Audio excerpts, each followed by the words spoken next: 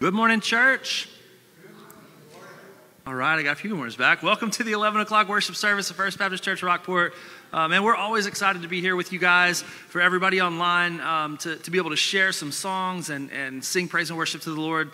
Um, it's a good morning. We're, we're going to get to do that this morning. We're also going to get to hear about a special emphasis that our church is about to uh, kick off. Um, so we're excited that you're all here. We're excited that you're all watching this morning. Uh, if you would, would you stand and, and sing with us? We're going to start by, by just lifting our praise to the Lord, singing Raise a Hallelujah. We're going to lift our praise to, to God this morning. So uh, sing along with us as we worship Him and praise Him this morning.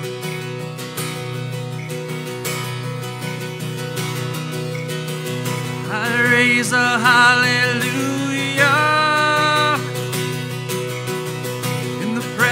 Presence of my enemies. I raise a hallelujah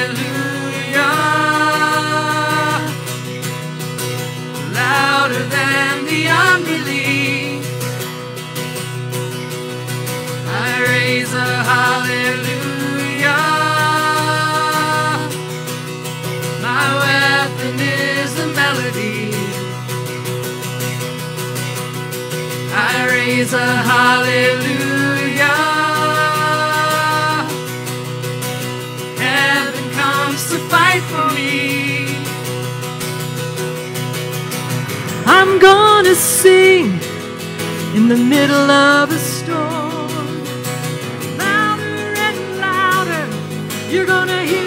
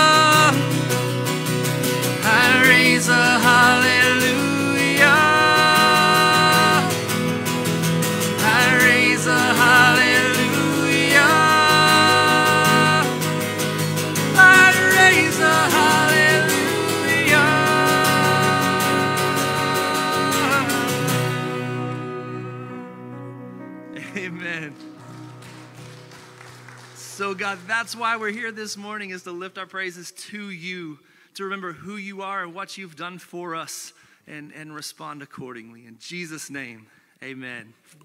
Church, if you would, you could be seated just for a minute. Um, Elizabeth Brendrett is going to come up and, and share with us something that God laid on her heart that she's been working toward. Um, so, Elizabeth. Good morning. Morning. My name is Elizabeth Brendrett, and I serve on the Finance Committee. And uh, it's their duty to develop a stewardship plan for our church. So today we're kicking off our stewardship program called I Can Do More. And we'll focus on cultivating an environment of joyful giving in our church. God tells us He loves a cheerful giver. I'll be set up at the table in the entryway if you want to chat later about what all we have going on. I know God has beautiful plans for this church and the congregation to be blessed through this program, and I can't wait to see that come to fruition. Thank you. Thanks, Elizabeth. You guys definitely make it a point to go out there and visit with her. Um, this is something that's going to be church wide. We're introducing this with the with the teenagers in our student ministry, uh, the children in our children's ministry. We're we're all going to get on board and and um, really make this a church wide emphasis. So we look forward to everything that's to come in that. Thanks again, We Elizabeth. got a video. oh, didn't know we had a video. Yeah. All right, video. Thank you. You're welcome.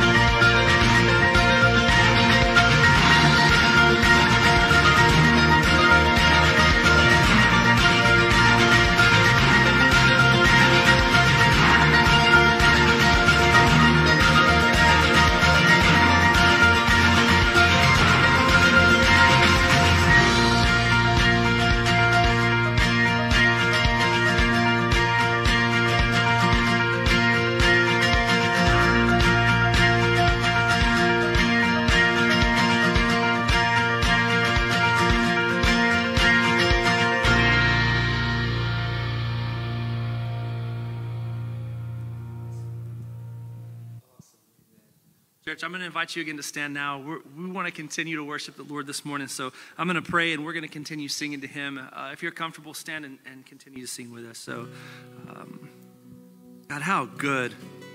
Thank you for moving in the hearts uh, of your people, Lord. Get us ready for what you have in store.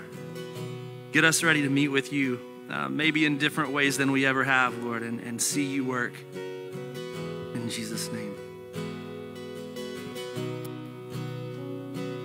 Come, thou fount of every blessing, tune my heart to sing thy grace. Streams of mercy never ceasing, call for songs of loudest praise. Teach me some melodious sonnet sung by flaming tongues above. Praise the mount I fixed upon it, mount of thy redeeming love.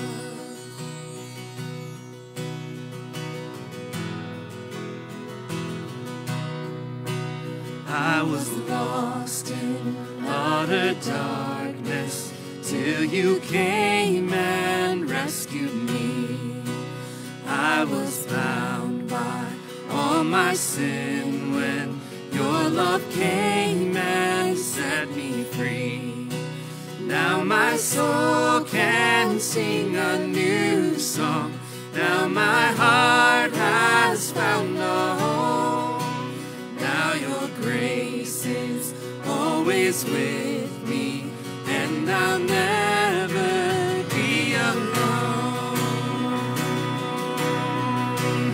Come thou fount, come thou King, come thou precious Prince of Peace. Hear your bride, to you we sing. Come thou fount of our blessing.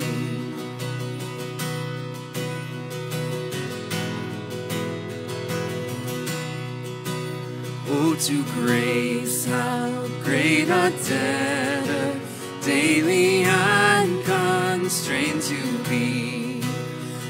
thy goodness, like a fetter, bind my wandering heart to thee. Prone to wander, Lord, I feel it. Prone to leave the God I love.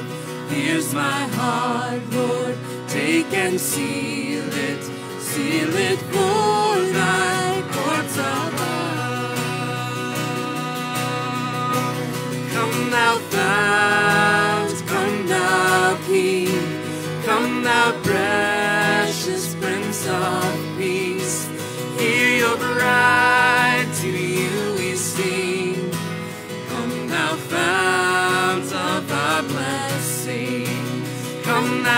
fount, come thou King.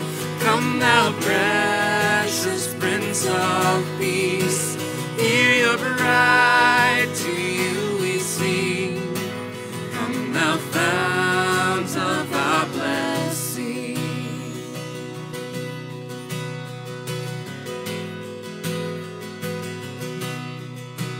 I was lost in utter darkness till you came and rescued me.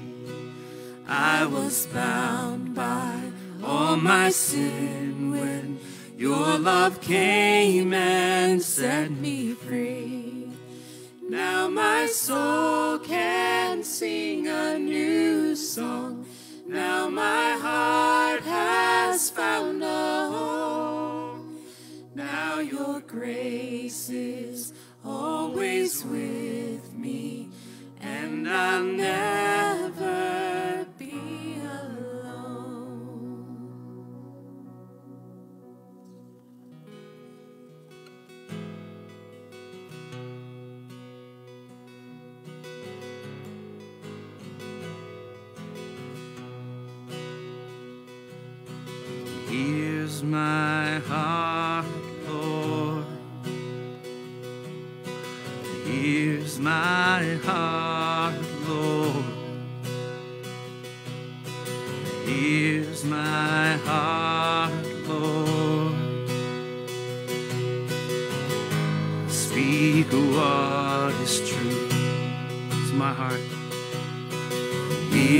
Here's my heart, Lord. Here's my heart, Lord.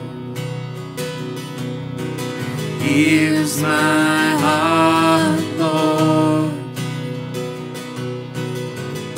Speak what is true, 'cause I am found,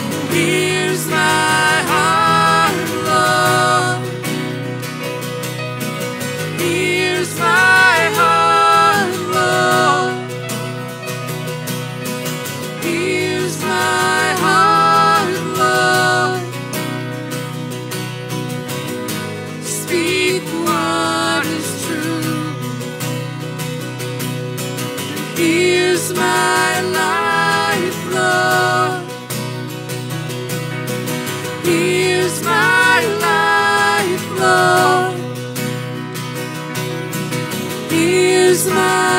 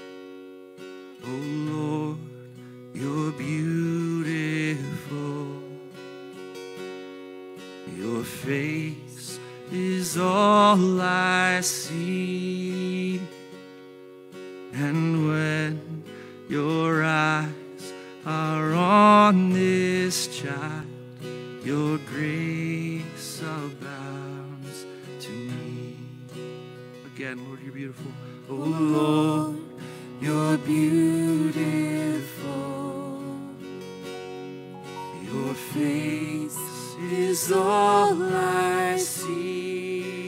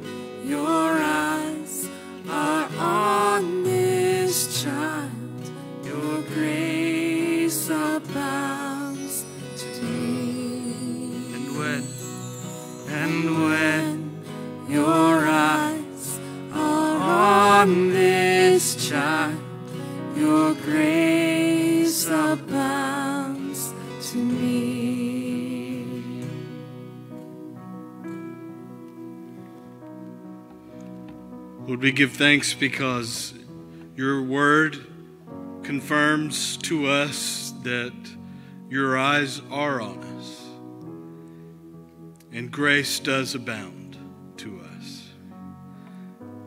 And so, Lord, as we open your word now and consider what it has to say to us, we ask that uh, you would speak what is true and may your will be done.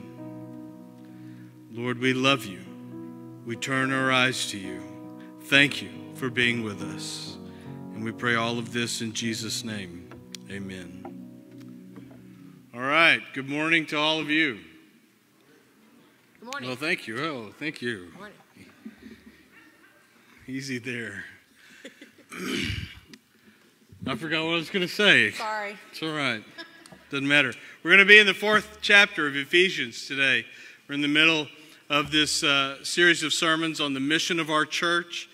And I told you that this is really occasioned by the fact that Aransas County is celebrating 150 years of existence this year. And First Baptist Church Rockport was established not long after that. And so from that time until now, and I believe into the future, uh, the Lord has used this church to, uh, to do great things in this community. We've provided ministry for almost 150 years, and uh, we've been involved in a lot of different things that God has done here in Aransas County. And that has been true up until now. I believe it's true now, and I believe that God still has things in mind for this church for the future. And so I appreciate what Elizabeth talked to us about earlier and what the, the, the Finance Committee is doing and helping us to think about how we can support the work of the church because I believe that God is not finished with us yet. And in the way that God has always used this church and this community, uh, He's always provided the people and the resources that we've needed to do the work that He's called us to do. And I believe that's true now, and I believe that will continue to be true in the future. Uh, I know that this past year has been hard. Anybody want to go back and do it again? And it's been hard for our community. It's been hard for our country. Our church has also undergone a lot of changes. But I believe that good things are in store. And that's why this is the time for our church to reconnect with its mission and to recommit ourselves to why God has us here in this community. And so we're talking about the mission of the church. You've probably seen it. Here it is. The mission of First Baptist Church is to lead all people to be shaped by the love of Christ. Does that look familiar? Because I put it up there for the past three Sundays, so it should be. All right. So, how will we know when we're accomplishing our mission? We've said we'll know that Christ is shaping us with his love when we make disciples who worship, connect, grow, serve, and reach. Those five things. And so, um, every Sunday we've talked about one of those things. We've talked about worship and connect. And today, I want us to consider the whole concept of growth spiritual growth, uh, the growth of the church, my own growth, our growth together. and why is it necessary? And so, the question we want to talk about today is why is growth a necessary part of my Christian life? And if it's so necessary, you know, how, how can it happen?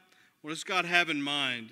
In the text I'm going to read from Ephesians chapter 4, Paul addresses this specifically. So look with me in the text, Ephesians chapter 4, starting with verse 11. I can't see it. I don't have my glasses on. There it is. All right, Ephesians 4, verse 11. It was he who gave some to be apostles, some to be prophets, some to be evangelists, and some to be pastors and teachers, to prepare God's people for works of service, so that the body of Christ may be built up until we all reach unity in the faith and in the knowledge of the Son of God and become mature, attaining to the whole measure of the fullness of Christ. Then we will no longer be infants, tossed back and forth by the waves and blown here and there by every wind of teaching and by the cunning and craftiness of men in their deceitful scheming. Instead, speaking the truth in love, we will in all things grow up into Him who is the head, that is, Christ. From Him, the whole body, joined and held together by every supporting ligament, grows and builds itself up in love as each part does its work. All right, in the text, there are three things that Paul tells us related to growth. First is the what, what is growth? And then he's going to explain why is growth necessary. He'll answer the why question. And then finally, he gives us an idea of how growth takes place. And so I want to unpack all three of those things the what, the why, and the how. We'll start first with the what. What is growth? In verses 13 through 15, I see that growth is the process church members experience together in which God moves them towards maturity in Christ. Growth is the process church members experience together in which God moves them toward maturity in Christ. And Paul uses this very important word, maturity, and it has the idea of being fully developed or full grown, or I like ripe. It has the idea of being ripe. And don't you like a good ripe avocado? You don't want one that's hard. You want one that's ripe, that's mature, that's full grown. I said in the early service that every pot of chili has to ripen, it has to mature and reach maturity without beans. Beans hinder the maturity of every pot of chili. Sam Houston said so. All right, so when it comes to uh, the, the why or, or, or, the what is growth, Paul makes several important statements here. In verse 13, we see that I mature together with other church members. And so here the idea goes against all of our individualistic impulses, all of our consumer mindset, that I focus on what's in it for me and what's best for me and my own. And Paul shifts our focus to see that my spiritual maturity really depends on our spiritual maturity. And that word mature that he uses is literally an adult person. And so he, he uses language that is to be understood corporately, not individually. And together, he says, we grow up to become an adult person together. Versus the language of verse 14, where he says, individually, we remain infants and immature. Together, we grow up and avoid the setbacks or the pitfalls of immaturity. Together, we grow to become like an adult, a person who has reached maturity. Separately and alone, we are prone to remain in an immature state. In verse 13, he, see, he says that our corporate maturity allows us to experience more of Christ. And so we measure the maturity of a church by nothing less than our corporate Christ likeness. In other words, how much of Christ is present among us. I cannot be content with my own spiritual growth. I must long and strive for and contribute to the maturity of my church as a whole until we all together more closely resemble Christ. In verse 15, he tells us that our corporate maturity occurs in all things, in every aspect. The language here is in, inclusive. Every aspect of church life Every age group, everything printed, everything said, everything done, all of it is to attain to or reveal the fullness of Christ. So whether we're talking about stewardship, or voting in a business meeting, or teaching in a classroom, or from the pulpit, whether we're talking about caring for our members, everything we do is to reflect our maturity together in Christ likeness. Or, unfortunately, it may reveal our lack of maturity, if that would be the case. But it has to do with all of it together. We experience the fullness of Christ. In verses 15 and 16, I see that as we mature, love is to characterize all we say and do. In verse 15, he says, Speak the truth, but speak the truth in love. And so we are to give voice to what we believe as Christians, but that is to be done in love for the purpose of moving people closer to what God has in mind for them over time. It moves people towards God's best for them in the long run. And in verse 16, Paul says that we are to, the church is to build itself up. And he uses construction language. Uh, we build ourselves up in love. And so, love is how we evaluate the church's actions and words. Do our actions, do our words result in moving people to God's best for them in the long run? We are not everything yet that God wants us to be. The real question is are we moving towards it? Are we maturing? Are we growing up together? You were not born into this world fully mature. Is that shocking for you? You had to do some growing up. No offense. I've only known one person who was ever even close to being fully mature when they came into this world, and that was my beautiful wife.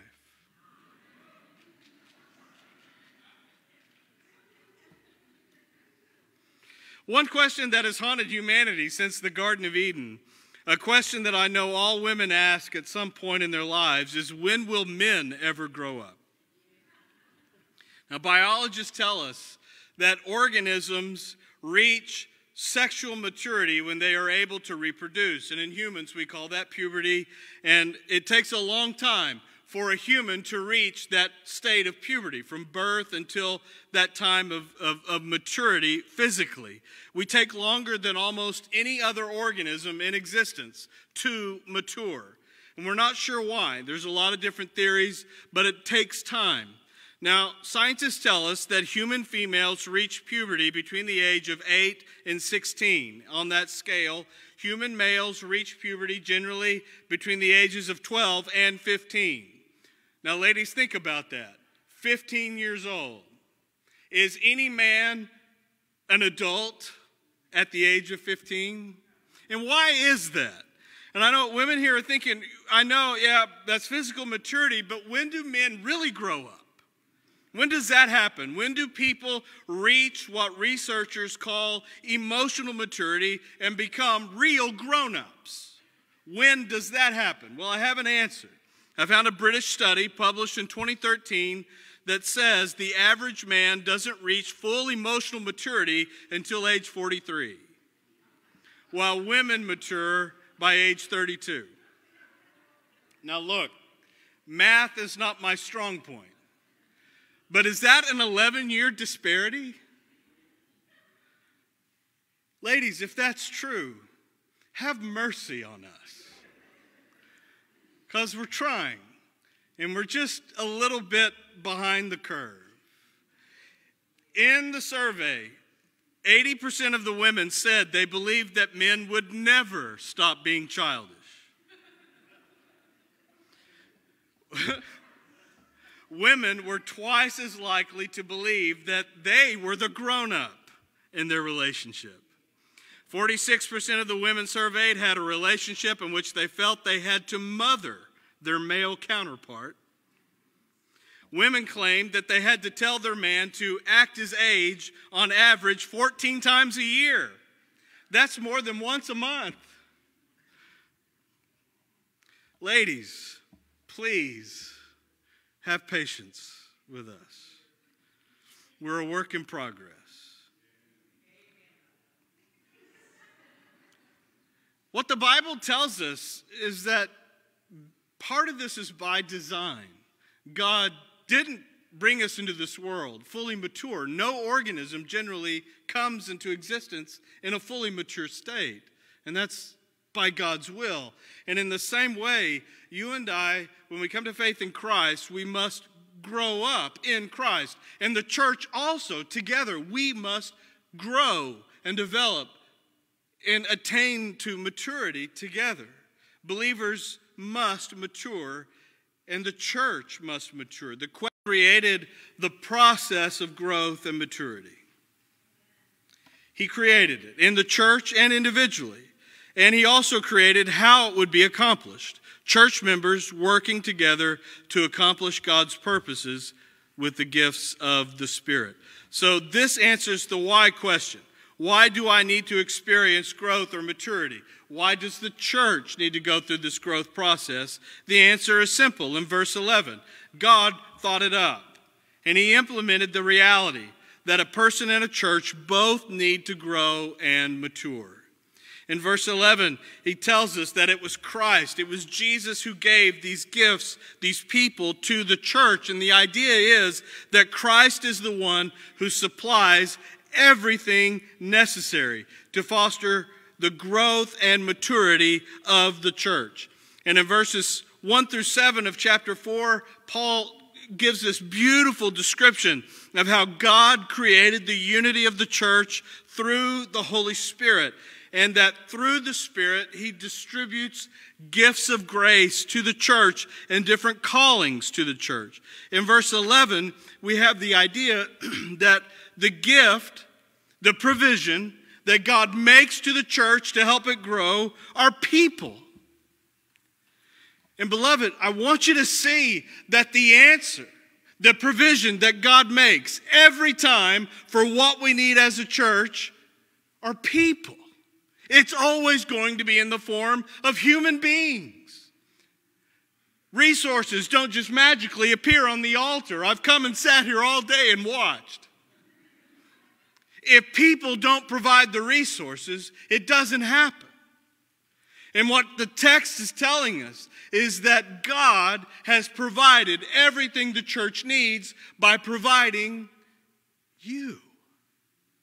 People like you and all that He's given us through His Holy Spirit living within us, He has given us what we need in order to do the work that He's called us to do. In verse 12, we see that Christ bestows gifts of grace to equip the church to accomplish God's purposes and to help the church to grow. So, people are given by Christ to equip and prepare believers for the exercise of their gifts so that the church can accomplish its mission. All that is spoken of in verses 11 and 12 is directed towards the goal of building the body of Christ. And again, the language is construction language. Uh, something is being built, something is moving closer to being completed. And in the text, it's the church. And God has in mind two different ways the church is growing or moving towards completion. One is related to its size. Paul tells us that God gives the church apostles and evangelists, and it has the idea that some people are gifted and called to help other people come to faith in Christ and, in, and into the church. They go out and bring people in. This is a gift that God has given so that the church will reach more people. And then he has the idea that the church grows not just numerically, but also internally, spiritually, so that there are those given to the church who are called and gifted to be prophets and pastor teachers. And these are the people who have the responsibility of helping people to get connected to the church and to mature in Christ's likeness and to discover their place and to exercise their gifts. The, the point is that God's provided for both the numerical and the spiritual growth, and maturity of the church through the people he calls out to be a part of every church. You are God's provision. And that's very special. And the question I need to ask is what is the role God created me to fill in my local church? And God has something in mind specifically for you. What is that? What has God called me out?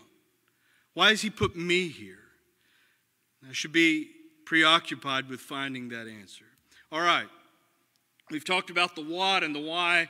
Now let's address specifically the how of growth. Here's what I want you to see I contribute to the growth of my church by strengthening my connection to Christ, by strengthening my connection to the members of my church, and by doing my part in the body of Christ. So, how do I grow? How does the church grow? How do I contribute to the maturity, the spiritual fullness of, of my church? Well, the suggestion is that I would do these three things address my connection to Christ, address my connection to other believers, and then take my place in the body of Christ. In verse 16, the indication is that I need to strengthen my connection with Christ. If Christ is the ultimate source of the church's growth, if Christ is the one that supplies everything that's needed, including the unity, the nourishment, and the, the maturity of the church, then I need to strengthen my connection with Christ. Now, look, I can't do anything about your connection with Christ. You have to address that yourself. The only person I can influence or change is me. So I need to strengthen my connection with the Lord. And hopefully, by doing that, is that the Lord? Yes, Lord. It's time to, time to wrap this up. Okay. Uh, by strengthening my connection with the Lord, I might be able to encourage others to do the same, but first things are first. I need to address my connection to Christ. Secondly, in verse 16, it tells us that I'm connected by the Spirit with every member of my church. Therefore, I must strengthen and maintain that connection. So, again, Paul focuses on the growth of the body as a whole, not the growth of individual parts of the body. The point is for all of us to grow together in Christ. Now, when that happens, I grow too. That's true. But that's never to be my focus. Paul says, I'm joined together with the body of Christ, and we are held together. Even each small supporting ligament, he says, we are united by God's Spirit under the head of the body, who is Christ. And since we are put together by Christ, by God's Spirit in the body of Christ, I should take that seriously and seek to strengthen those connections and not weaken them. The temptation is to walk away or to avoid or lessen those connections, especially with people we don't get or agree with, those who've hurt us, those we don't understand, or those we don't know. And Paul says the opposite is what we should be focusing on. And I should be seeking out to strengthen all of the connections in the church individually this class with that class, this organization with this one, and this age group with this age group. We should be focusing on what we can do to strengthen our connections. Now, I have some advice for you. If you feel like you're not very well connected to the church, next Sunday, sit somewhere else. And I promise you, if you're sitting in someone's spot, they're going to tell you. And when they do, introduce yourself and get to know them and see how that goes. It, that's what we need to be doing. And it's something I can't make happen. You have to be committed to it. And either you are or you're not. And we need to be strengthening our relationships, our connections to one another. And so Paul says, I focus on my connection with Christ. I also take seriously my connections with others in the church. Finally, in verse 16, he says, I'm to fulfill my God given role in the body of Christ. Every member of the body receives what is needed to perform his or her proper function so that the growth of the whole body is healthy and strong, just as God designed it. So, because that's true, I should eagerly exercise my gift for the good of the whole church. I support and encourage you as you do the same. And as each one of us shows up and takes our place and does what we're called to do, then the church grows and matures and it accomplishes the purpose, purposes for which God called us. See, there are things I can do connect with Christ, foster my connections with my brothers and sisters in Christ, and then take my place in the body of Christ as God has provided for it. Now, there are things that we should all be doing that contribute to our physical maturity. We've all heard these things. Our doctors have said it. We need to sleep. We need to eat right and exercise. Any of that sound familiar? Is there anything we can do to contribute to our emotional maturity? How can we foster our growth to become healthy, mature adults in this life? In the British study that I mentioned earlier, the, men, the women surveyed mentioned the top maturity fails of men. These are things that men do that do not make them mature. And here they are finding their own passing of gas and burps amusing. Men, that pull my finger joke, that's probably not as funny as we thought. Number two, finding rude words amusing. I giggle every time someone says duty. It's probably not as funny as I think it is. Number three, trying to beat children at games and sports. Hey, who's your daddy? Yeah, I probably take more enjoyment of that than I should. Number four, staying silent during an argument. And number five, not being able to cook simple meals. Men, we're talking simple meals. It's a package of ramen. Boil the water. You can do it. You can do it. Instead, doctors and psychologists and school counselors have suggested some things that people can do to grow up as persons. And these are the kinds of things we should be encouraging in our children. All kinds of things, such as don't be a bully, avoid gossip, rumors, talking about people behind their backs. Be a bigger person if someone is unkind to you. Keep an open mind and be eager to learn. Have confidence in yourself. Accept personal responsibility. Take control of what you can and be genuine. And researchers tell us the more we can foster these kinds of behaviors in our life, the more likely we are to be healthy, to grow up and mature, and to be a presence in our relationships that is actually helpful rather than someone who uh, creates a lot of drama and has a lot of neediness. There are things that I can do as a Christian so that I and my church will mature. I need to focus on these things.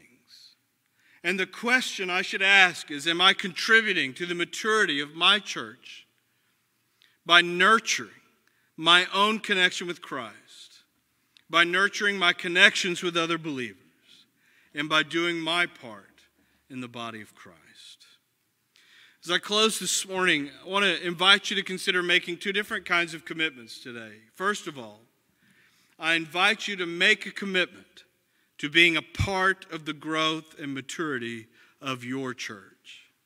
Help your church to experience the fullness of Christ and to become more like Christ in all its words and actions. This may not be on your radar at all, but I hope this morning that you'll consider making a commitment to being a part of what God wants to do, not just in your life, but in your church and through your church in the community and beyond. Make a commitment to being a part of the growth, the maturity of your church. Secondly, I invite you to contribute to the maturity of your church by nurturing your own relationship to Christ, by nurturing your connections with other church members, and by doing your God given part in your church. And as I said earlier, this, this past year has been hard. And it could be that this is exactly where God wants to deal with us. Maybe as a result of everything that's happened this past year, I've simply fallen away from my relationship with Christ. And there is something lacking there. It could be that as a result of what's happened this past year, that we've neglected our relationships with our brothers and sisters in Christ. Maybe we've walked away, we've let things go, and it's time to pick those things back up again. And it could be that as a result of this past year, you've hoped that someone else would do the things that needed to be done in the church. And maybe God is saying to you recently, now it's time for you to, to re engage. I have something in mind for you. It's time for you to, to find it and to do it. In a moment, I'm going to pray, and then uh, Wes will come and lead us in a time of response. And while we're singing, you can respond to the word of the Lord and what He's saying to you about your spiritual growth and how you're a part of the growth of this church as a whole. And this morning, I'm going to do what I haven't done in a while, and that is I'm going to be down front. I'm going to have my mask on. If you want to come and pray with me, uh, I'm going to be here while we're singing. And I would love to hear from you, or if there's some kind of decision that God has put on your heart this morning that you want to talk to me about, that's where I'll be. When the service is over, I'm going to be out in the foyer. If you want to come and talk to me out there, would love to visit with you about what God is saying to you. But I'm going to pray, and then Wes will lead us in a time of singing. Let's pray together. Lord, we want to thank you for being a God who provides for all of our needs through your word, through your Holy Spirit, your presence with us, but also through the church, through the people who make up the church. And Lord, I want to take that seriously because your word says that our growth depends on one another. Our maturity, our ability to experience the fullness of Christ depends on the other members of my church. So, Lord, I pray today, in ways that are appropriate, you would call us to that, to making a commitment to that. And Lord, for every one of us, I pray that you would show us what we can do today to strengthen our relationship with you, to strengthen our connections with the other people in our church. And Lord, show us how to stand up and take our place in the body of Christ the way you've designed us to. Lord, we trust that as we do that, you'll manifest your presence among us. Your will will be accomplished among us, and we will fulfill your purposes through this church in the world. And now, Lord, may your will be done. And we love you. We pray this in Jesus' name. Amen.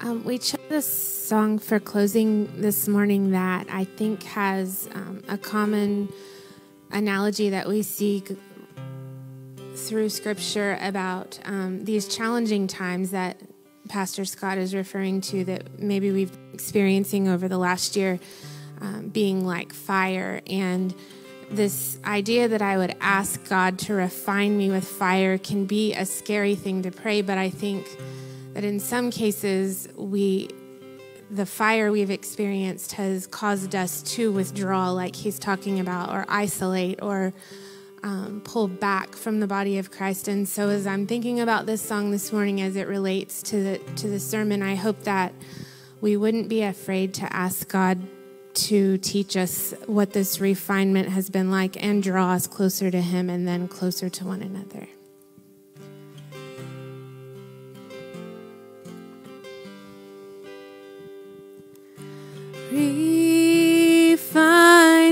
fire.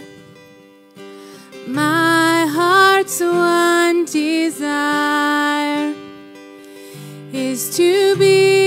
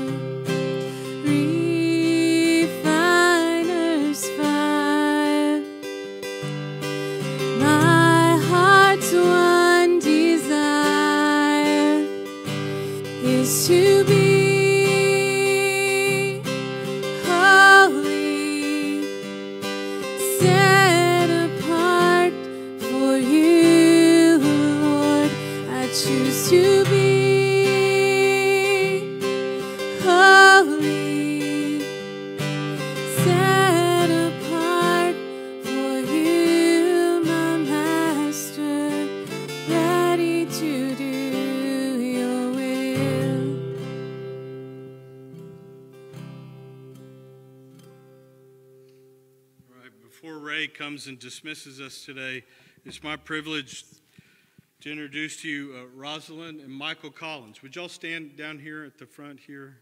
They've come this morning. They've been attending our church for a long time, but this morning they're coming to uh, officially unite with our church by promise of letter from the First Baptist Church in Victoria.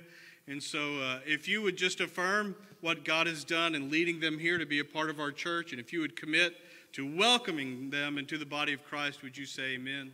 amen? And on your way out today, you might want to come by and shake their hands or give them a hug in a way that is safe and doesn't give anybody COVID. All right? Do that this morning. So blessed to be able to, uh, to welcome people in our church. So, Ray, would you come and dismiss us today?